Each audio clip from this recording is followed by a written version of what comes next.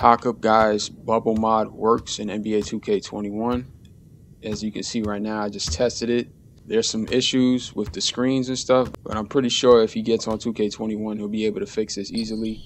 So this is good news. A lot of the mods are compatible with 2K21. This will save him and a lot of other people a lot of time when converting stuff to the newer game. I'll have a link to his 2K20 thread in the description below if you guys want to test it out yourself.